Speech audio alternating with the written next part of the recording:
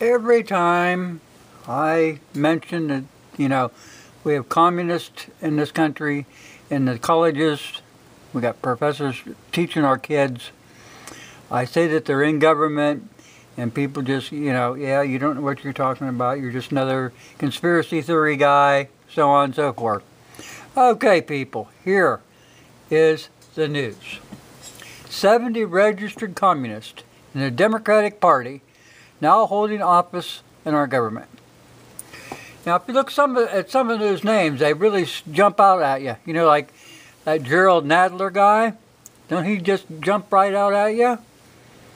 You know, he's, uh, oh, we got to get this gun control.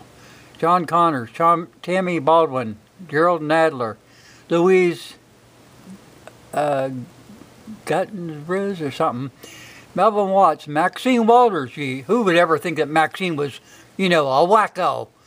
Hank Johnson, Steve Cohen, Barbara Lee, Robert Wexler, Linda Sanchez.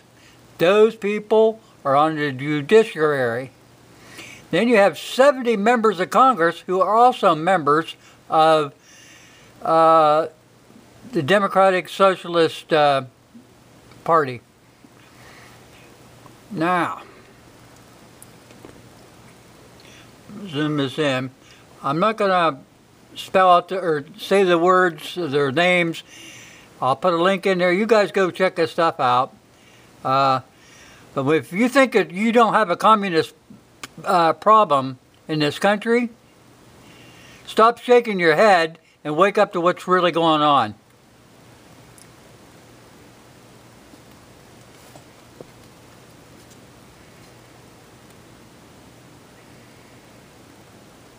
Good old Bernie Sanders.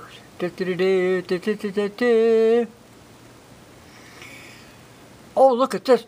I love this where they said that they're all, all these people, you see that, guys? These are all honorable. Not to this country, though. Ha ha ha.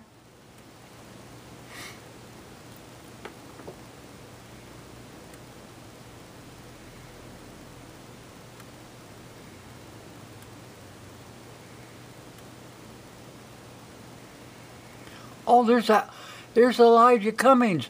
Oh, I wonder how his name got in there. These are the same people who are voting for gun control to screw you out of it so that the communists can take over this country.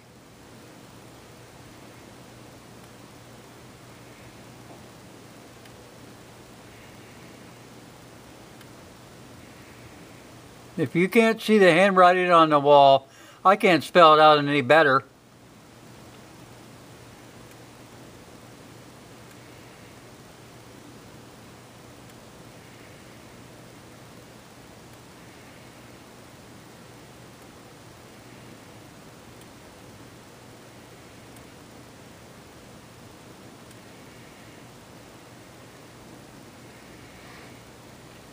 And there you go.